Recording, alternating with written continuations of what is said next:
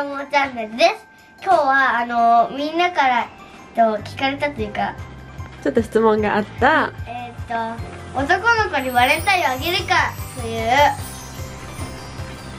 まあ質問がねあったのでその話をしたいと思います。はい。まあ女の子にはもちろん友チョコでお家で交換するんだっけ？そうだよね。お家で交換するんですけどさあ好きな人新しい学校でできたんでしょうか？今年はあげないんでしょうか？では聞いてみたいと思います。あのすいません。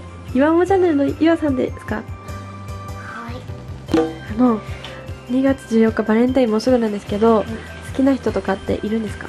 はい。いるんですか？はい、え？それってもう新しい学校でできたとかですか？違います。ち違うんですか、はい、前の学校です。前の学校に好きな人？はい。ということはもしかしてその方は去年もあげた方と一緒ですか？はいそうでございます。そうなんですね。はい、はい。ということで、い。ゆあさんはね、えっと、去年も、い。まあ、とある男の子にあげに行ったんですけどね今年もなんと同じ男の子が好きということで2年目ですね。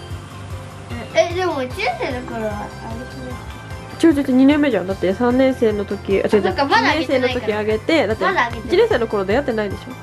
え？出会ってはいれいやたあげたよ1年生もあげたっけ？それ2年生もあげてえあじゃあ3年目か。そうだよ。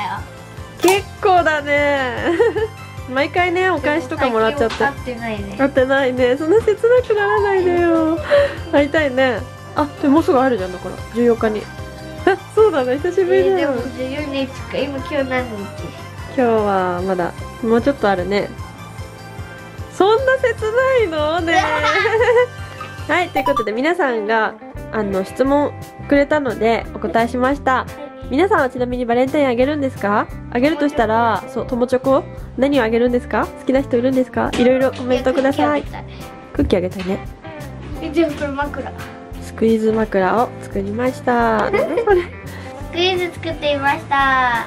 照れてるんですね。めっちゃよかったですよ、うん。ほらあげに行くの頑張あげに行くの頑張るぞみんなもあげる子は頑張ってはい今日はすき焼きです。子供たちが手伝ってくれました。とまあすき焼きとかお肉系って結構太るっていう思われてる方もいるしいらっしゃると思うんですけど。ママのチャンネルの方もいろいろアップしてるから見てあげてね。またねまたね